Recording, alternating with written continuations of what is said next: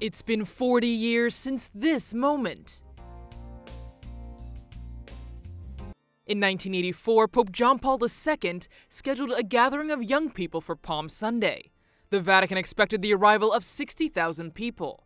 On that day, 250,000 people attended the meeting in St. Peter's Square.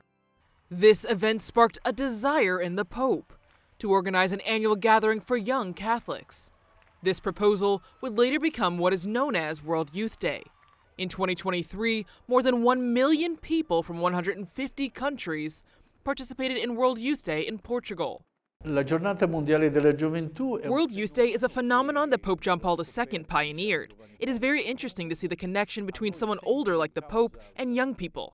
Many credited Pope John Paul II with inventing World Youth Day, but he replied, quote, "It was the young people who created it." To commemorate the 40th anniversary of this first meeting, the Dicastery for the Laity, Family, and Life and the John Paul II Foundation for Youth have organized a series of events to be held on April 13th and 14th.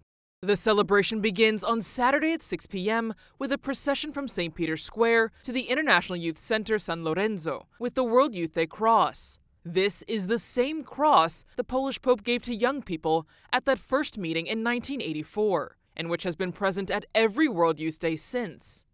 After the procession, there will be a vigil of prayer and adoration of the cross. On Sunday at 6:15 p.m., at the same youth center, a mass will be offered. As of right now, Pope Francis is not expected to be present.